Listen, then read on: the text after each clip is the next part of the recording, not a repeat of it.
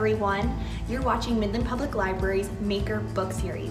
My name's Jennifer Whip and I'm the Maker Place Coordinator here at MPL. I'm coming to you every week with new books and resources to help you pick up a maker skill or hobby. This week's maker skill is knitting.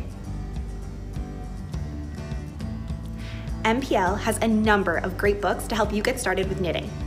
Let's start with Knitting by Megan Goodacre.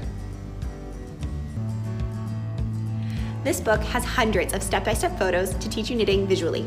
It starts with the absolute basics from how to choose your yarn and what tools you'll need, and even teaches you how to hold your needles.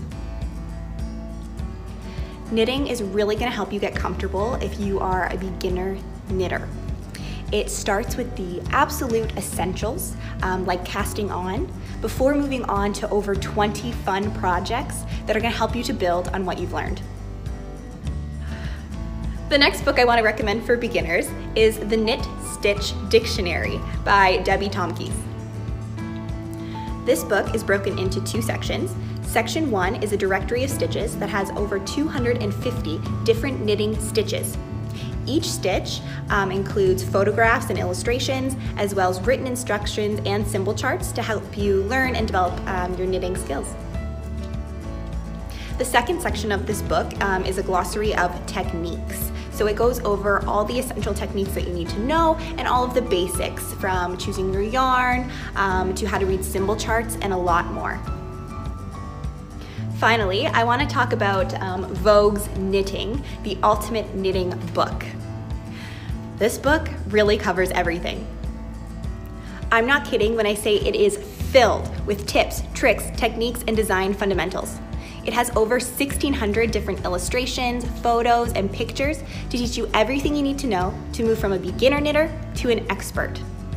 From basic to advanced techniques, um, from how to design your knitwear to how to care for your knitwear, there isn't much about knitting that you won't find in this book. If you have some experience with knitting and are looking to expand upon your repertoire, we have a great selection of books for that as well. Let's check them out. We have books on exploring color in knitting. We have books on baby knits, books on how to knit scarves and mittens and hats. We have books on sweaters, as well as a ton of books on general projects.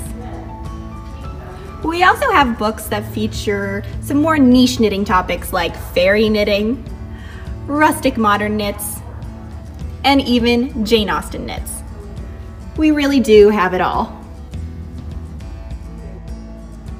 To explore these books further, check out this week's virtual Maker Book Series display. You can access the display at bit.ly forward slash Maker Book Series. In the display, each of these books is directly linked to our catalog, so you can place it on hold for curbside pickup. You're also going to find links to video tutorials and other how-to resources to help you get started with knitting. Thanks for watching this week's Maker Book Series video. I'll be back next week with more books and resources to help you explore a new maker skill or hobby. Happy knitting, Midland, and I'll see you next time.